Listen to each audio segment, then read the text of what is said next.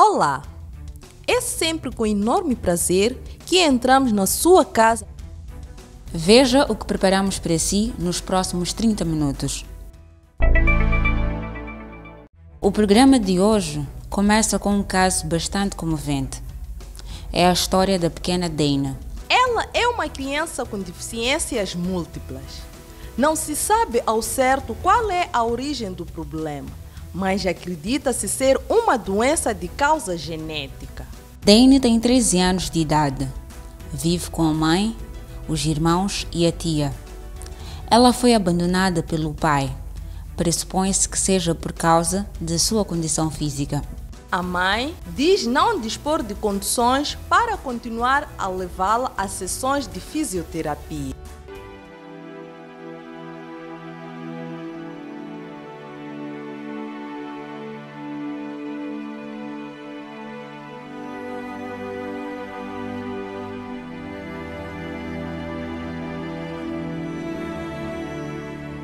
A Dani é uma menina que nasceu normal, aparenta, aparentava ser normal.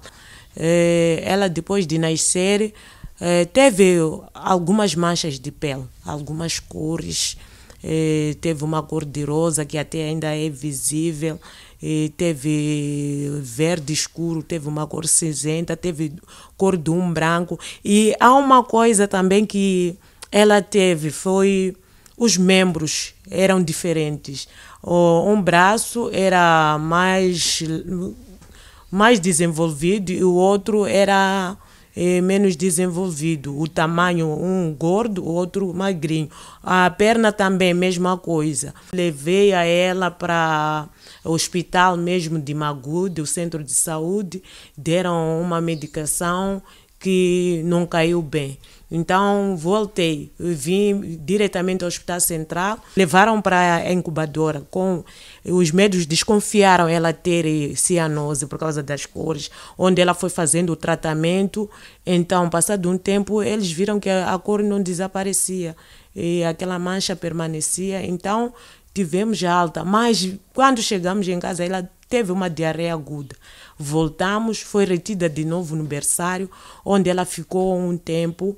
E quando teve alta, fomos tirados para o berçário 2, já no Hospital Central, onde tinha outras crianças que estavam quase a ter alta. Lá fui conhecer o doutor Madeira. Então eu até perguntei a ele se era normal ah, porque ela, cabeça, cada dia que passava, ela ia desenvolvendo e tinha a racha que é avessa até hoje.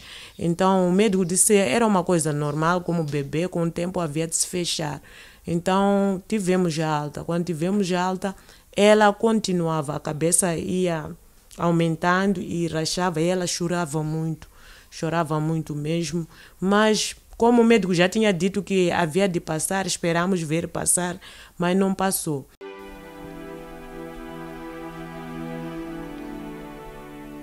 É algo que eu não gosto de me lembrar.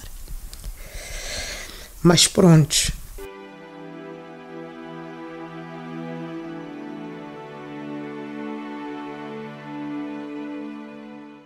Dali eles viram que a criança estava mal, porque mesmo a cabeça já não segurava. Ela tem uma lesão no cérebro que impediu as células nervosas dela, as células neuronais, os neurônios, de se desenvolverem normalmente.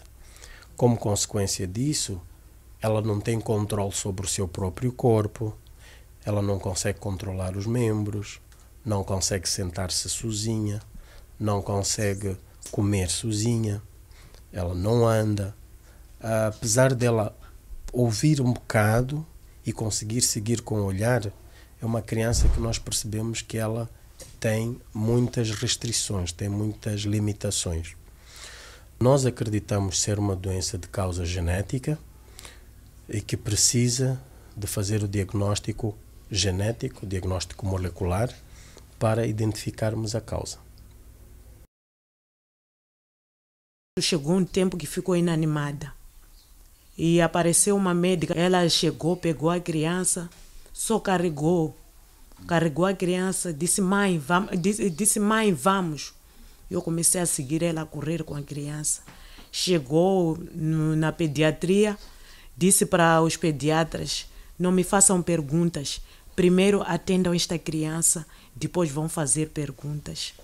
E dali foi tudo urgente. Então fizeram-me as perguntas depois, deu a explicar, mas a criança não melhorava. Quanto mais aplicavam a medicação, ela piorava. Depois de dois dias, ela praticamente já não se mexia, não fazia nada. E os médicos também espantados. Os médicos chegavam muito cedo, a primeira criança a ser atendida era ela. Pelo estado que ela estava, era a criança mais grave. Tentavam fazer de tudo. E eu lembro-me que o processo dela subiu o volume porque cada dia que passava, eles já até tentavam dar uma nova medicação, mas a criança nada. Em Moçambique, nós só começamos a ter genética ou especialidade de genética há quatro anos.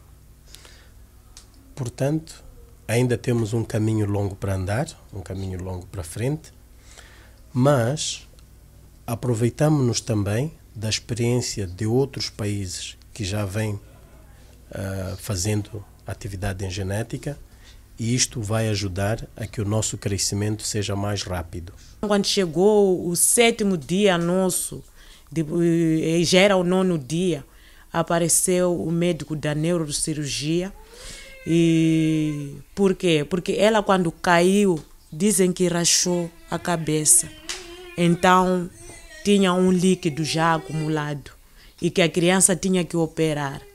Mas nessa ordem de ideia, ela não podia operar porque era uma criança que tinha febres muito altas, tinha diarreia aguda, convulsionava ela não podia operar. Mas naquele dia, Deus colocou a mão, apareceram os médicos da neurocirurgia, vinham ver a ela. Quando chegaram, foram ter com a médica. A médica disse: Não falem comigo, vão falar com a mãe. A mãe é que vai vos detalhar bem o que está acontecendo com essa criança, porque nós já nem sabemos o que fazer.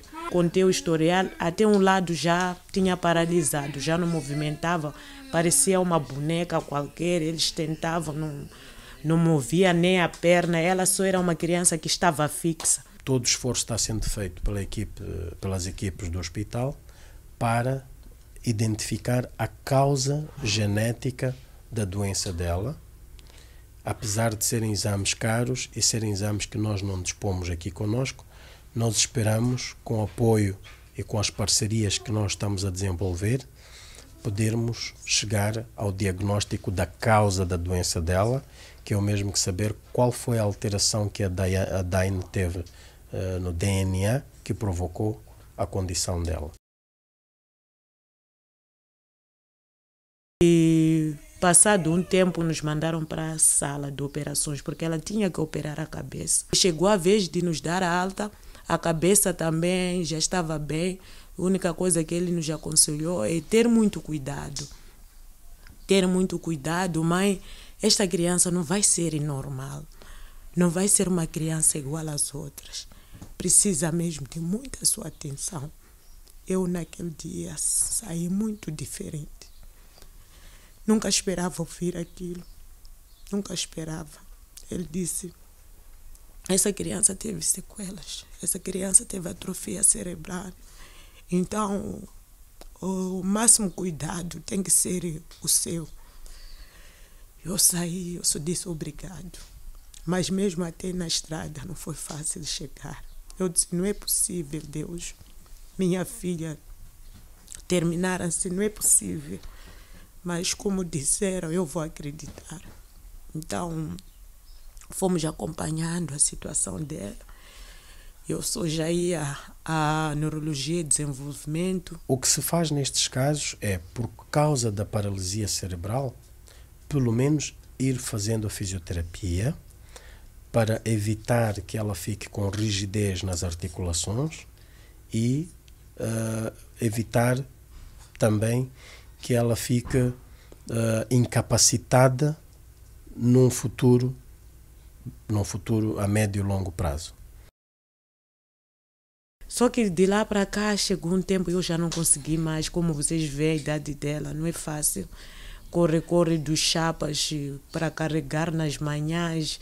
Houve uma vez de muita chuva, eu caí com ela. Eu disse, antes que vou piorar a situação dela, vale a pena eu ficar mas graças a Deus ela está aqui. O pai nos deixou, nos abandonou há cinco anos. Eu tinha que fazer meus estudos, mas eu esqueci os meus estudos. Esqueci-me eu mesma que para cuidar dela tinha que ter umas 10 latas de leite por mês para poder sustentar, porque ela só se alimentava de leite. Até os cinco anos ela só tomava leite, não comia outra coisa.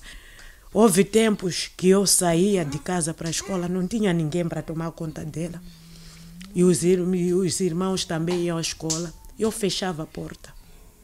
Eu fechava a porta, ela dentro, ia à escola. Quando o irmão voltava, tinha que tomar conta dela até eu voltar. Como vocês veem, é um rapaz. Eu não podia dizer a ele para mudar a fralda dela. Não. A única coisa que eu fazia, tentava me preocupar, é trocar fralda naquele momento que estou a ir. Para voltar a encontrar minimamente ela bem. Porque para mim eu contava que se eu disser meu filho, insistir meu filho para mudar a fralda, ele também havia de ficar traumatizado. Então eu não queria trauma para meu filho. Eu preferia deixar ela no estado em que eu deixava e voltava encontrava ela do jeito como eu deixei, mudava a fralda e continuávamos. E hoje ela está aqui, graças a Deus. Graças a Deus, meus filhos são vitoriosos. Eu devo muito aos meus filhos também.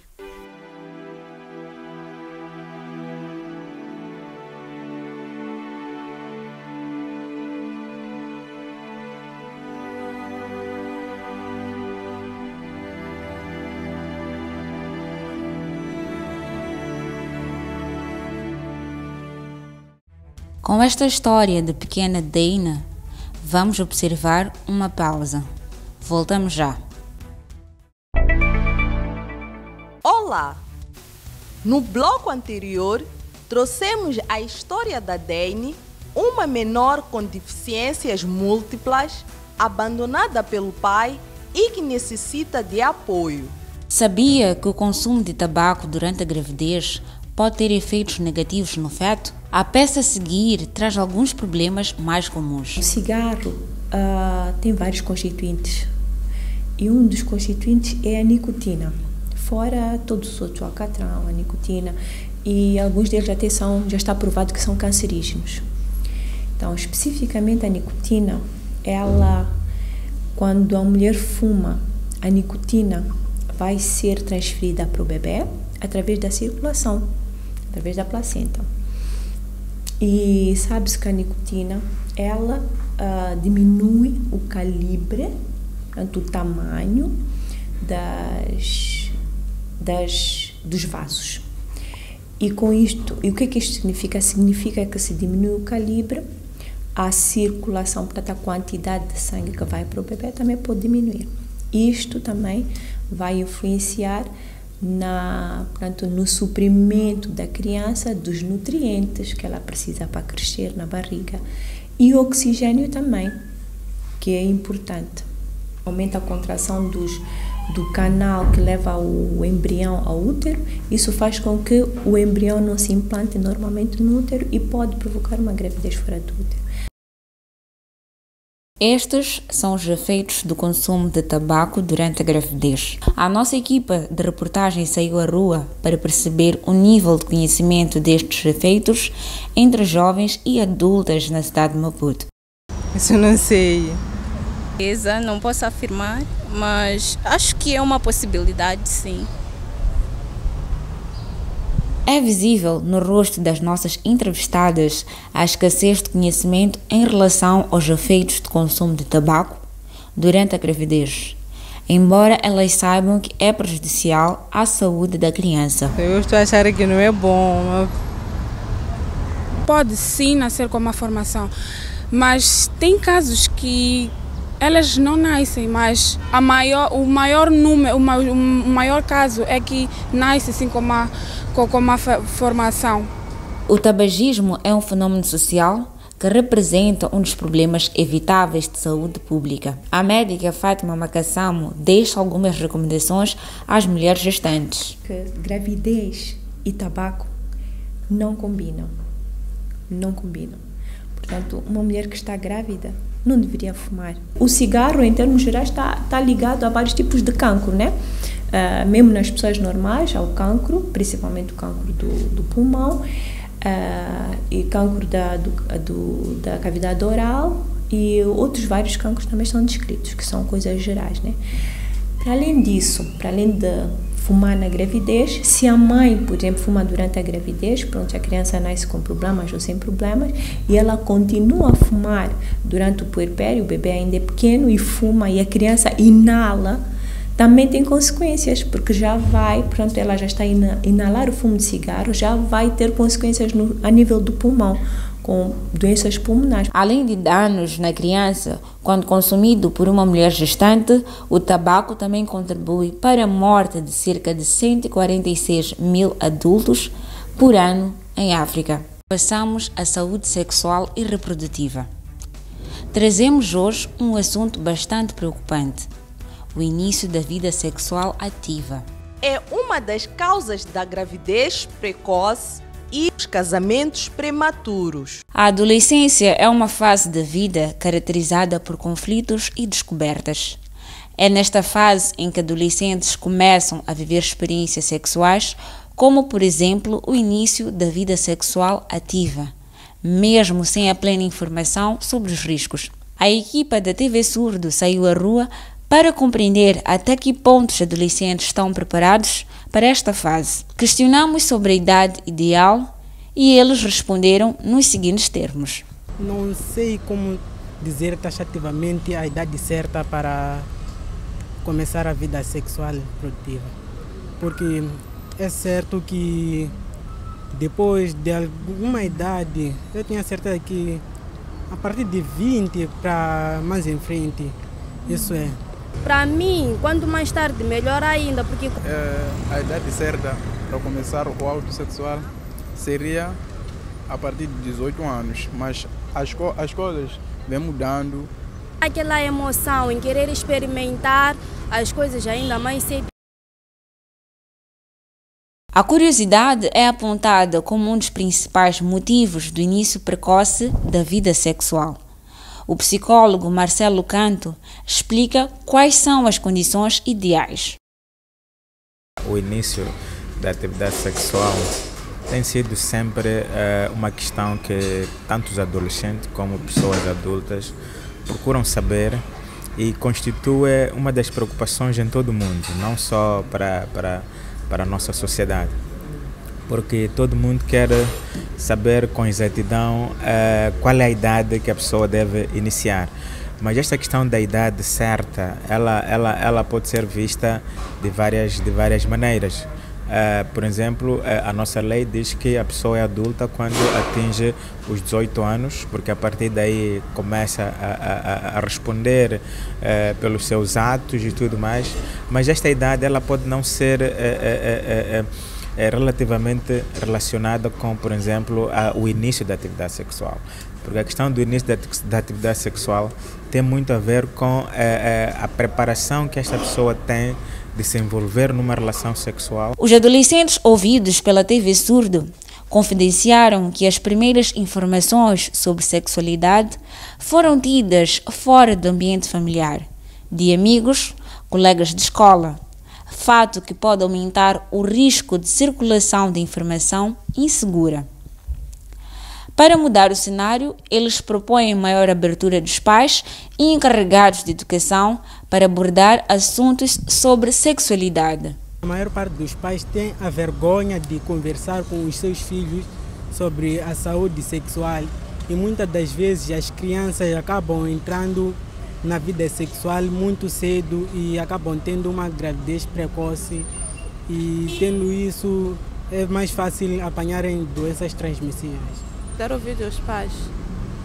Quando os pais forem chamar a atenção, deve sempre ouvir as palavras que os pais forem a dizer. E os pais também devem, devem dar ouvido aos adolescentes naquilo que querem. Além da gravidez indesejada, Marcelo Canto avança outros problemas causados pelo início precoce da vida sexual ativa. Daí podem advir várias situações como as infecções sexualmente transmissíveis, uma gravidez não desejada e vermos também aquelas situações em que as meninas deixam a gravidez se desenvolver e a criança nasce e muitas das vezes, porque não está preparada, acaba até abandonando esta criança. Ou se continua com ela, ela não sabe como cuidar da criança e acaba dando responsabilidade aos seus pais. De acordo com dados do Unicef, 14 em cada 100 raparigas entre os 20 e 24 anos casaram-se antes dos 15 anos, sendo a gravidez precoce uma das principais causas destes casamentos. Vamos a mais uma pausa. Voltamos já. Olá! O terceiro e último bloco é reservado à rúbrica Mais Vida e à aula de língua de sinais moçambicanos. A rubrica Mais Vida destaca as realizações da Associação dos Cegos e Ambliopes de Moçambique, ACAMO. Deficiência não é ineficiência. A CAMO, 25 anos consolidando as suas conquistas. Hoje, nesta entrevista, vamos conversar com Sérgio Miguel da Conceição, que é o presidente da CAMO, e que vamos falar eh, sobre os 25 anos desta agremiação. Sérgio, muito obrigado por estar cá. E hum, valeu a pena a criação da CAMO? Com certeza que valeu a pena a criação da CAMO, a CAMO que significa Associação de Cegos e Amblípes de Moçambique, uma associação que, como disse, eh, eh, faz 25 anos da sua criação a 10 de março de 1995. Portanto, eh, valeu a pena por vários motivos. Primeiro, porque conseguiu juntar, unir as pessoas com deficiência visual ou as pessoas cegas para uma causa única, que é defender e promover os direitos desta camada social. É, foi ótimo porque também procurou, juntamente com algumas outras organizações congêneras ou que lutam pela defesa das pessoas com deficiência, é, é, fazer com que algumas políticas públicas fossem concebidas no nosso país. É, foi ótimo, tá, igualmente, porque juntos com, é, posso fazer referência com a IP, que é a Aliança de, de, de Implementação de Políticas Inclusivas, conseguimos com que, por exemplo, o Ministério da Saúde adotasse uma lei em que os medicamentos eh, eh, pudessem conter informação em braille, de modo que essas pessoas pudessem identificar. Foi útil porque eh, conseguimos, juntamente também com as outras associações, fazer com que existisse uma primeira estratégia nacional para a educação inclusiva das crianças com deficiência. Foi útil porque conseguimos que eh, eh, o Ministério do Trabalho, eh, com apoio da, da, cooperação italiana, conseguisse estar em processo, é? a formação de formadores que pudessem também atender não só as pessoas com deficiência visual, mas também as pessoas com as outras deficiências específicas, mas a, visual e, e, e, e a, a, auditiva tem sido a mais problemática no nosso país em termos de atendimento. Digo isso porque, de facto, tem sido essas deficiências que têm procurado maior integração socioprofissional, tanto como educativa, no seu dia a dia. E durante os 25 anos, alguns ganhos visíveis que a CAMO pode partilhar com os nossos telespectadores? Outro ganho ainda é que conseguimos, nós, eh, juntamente com a FAMOD, um projeto denominado Junto pela Inclusão, que por um lado tem uma vertente eh, de, de, de, dos direitos das pessoas com deficiência, aqui procuraremos, procuraremos uh, uh, uh, tratar do relatório Sombra, uma vez que o nosso país já submeteu o, o primeiro relatório sobre a, a implementação eh, da Convenção Internacional das Pessoas com Deficiência e, e, acho que também é um ganho que já temos uma garantia para poder trabalhar no relatório paralelo. Exato. E que desafios que tem pela frente a CAM? Temos bastantes desafios. Como eu disse, uma das questões é, é a questão da estratégia nacional de educação inclusiva que ou abriu uma oportunidade das pessoas com deficiência visual, em particular, puderem colaborar no Instituto de Formação Profissional e também as pessoas surdas podem no sentido de dar eh, a conhecer o Braille, de modo que os professores saiam de lá com essa informação, tanto em Braille como língua de sinais, mas também para metodologias de atendimento dessas pessoas na sala de aula. Acredito que eh, nos próximos tempos, com essa gente já preparada, nossos futuros uh, estudantes, etc., podem estar melhor preparados. Mas já aqui também a necessidade de encorajarmos o governo, embora já tenha feito algo, mas para, para trazerem mais equipamentos variadíssimos, porque a deficiência visual tem muitos instrumentos para poder trabalhar em pé de igualdade de igualdade. Não falo só em papel braille, não falo só em pauta, não falo em máquina, mas falo em computadores, falo de leitores autónomos, falo de Orbit, que é um equipamento que pode trabalhar simultaneamente com o aluno cego e o, e o professor acompanhar, porque ele faz uma ligação direta ao telemóvel ou a um tablet, exatamente, em que o, o, professor, à medida que o aluno vai uh, digitando em braille, o professor acompanha. Portanto, são equipamentos modernos que também devemos apostar neles. Mesmo para terminar, é, tem algo para acrescentar?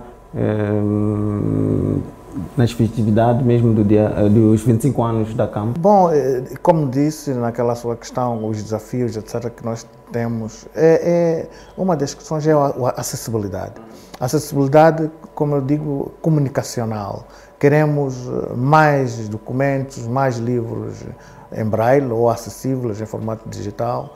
Queremos que as páginas uh, das instituições estejam acessíveis, estejam preparadas de modo que as pessoas com deficiência visual possam fazer suas pesquisas. Queremos também lembrar que existe um tratado de Marrakech, que é um, um tratado que facilita com que as obras impressas possam uh, estar em formatos alternativos. O que é que são formatos alternativos? Pode ser em braille, pode ser eh, em letras ampliadas, pode ser em áudio eh, e em ficheiro. Então, o nosso país ratificando aquele tratado fará com que alguns documentos que já estejam preparados, ou livros ou obras nos outros países, nas universidades, bibliotecas, possam também circular dentro do nosso país e isso poderá ajudar bastante na, na, na formação dos nossos, dos nossos membros, mas também eh, a, a, fará com que a OMP, a OMP é a Organização Mundial de, de Propriedade Intelectual, possa apoiar o nosso país na aquisição de algum material e de formação dos nossos bibliotecários, de modo a poderem trabalhar esses assuntos ligados a a obras impressas. Muito obrigado, Sérgio Miguel, presidente da CAM, que hoje, na entrevista, falamos dos 25 anos eh, da criação desta agremiação. Para si que esteve em nossa companhia, o nosso muito obrigado. Na aula de língua de sinais de hoje, saiba como dizer as frutas. Olá, bem-vindo à aula de língua de sinais de Moçambique ananás, manga, papaya. Pode dizer sozinho: ananás, papaya, manga, papaya. Manga, ananás. Não se esqueça de exercitar aí em casa. E assim fizemos mais uma edição do programa da TV Surdo. Muito obrigada pela companhia. Nós voltamos daqui a sete dias. Continue a acompanhar as nossas publicações nas nossas contas do Facebook e YouTube.